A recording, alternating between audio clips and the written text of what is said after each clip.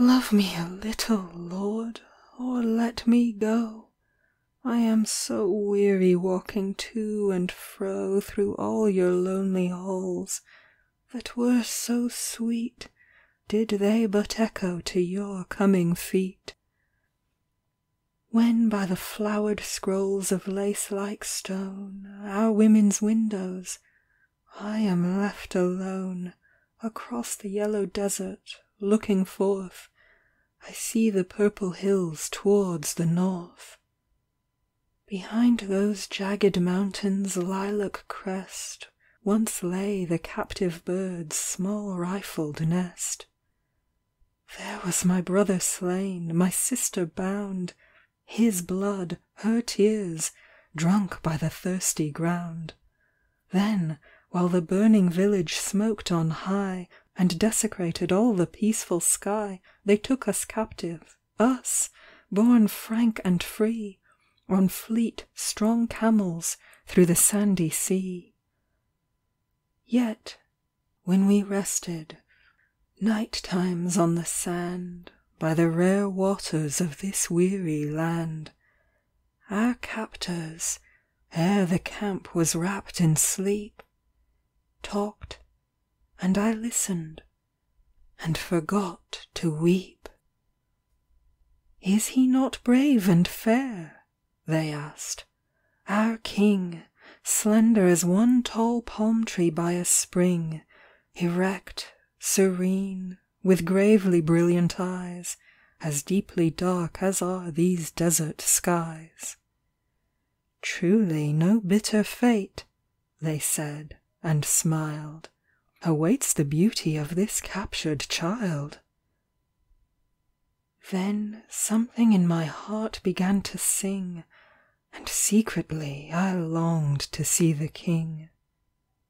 Sometimes the other maidens sat in tears, Sometimes, consoled, they jested at their fears, Musing what lovers time to them would bring.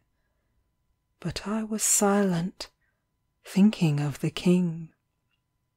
Till, when the weary endless sands were past, When, far to south, the city rose at last, All speech forsook me and my eyelids fell, Since I already loved my lord so well. Then the division some were sent away To merchants in the city, some, they say, To summer palaces beyond the walls. But me they took straight to the Sultan's halls. Every morning I would wake and say, Ah, sisters, shall I see our lord to day? The women robed me, perfumed me, and smiled.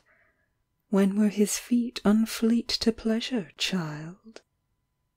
And tales they told me of his deeds in war, Of how his name was reverenced afar, And, crouching closer in the lamp's faint glow, They told me of his beauty, speaking low.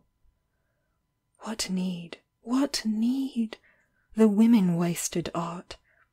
I loved you with every fibre of my heart Already. My God! When did I not love you, in life, in death, when shall I not love you? You never seek me.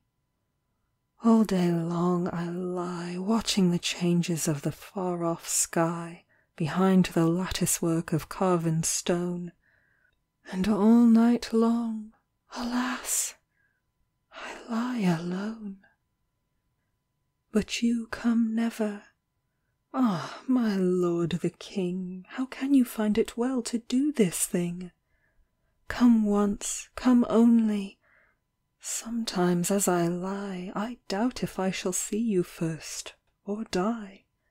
Ah, could I hear your footsteps at the door Hallow the lintel and caress the floor, Then I might drink your beauty, satisfied, Die of delight, ere you could reach my side.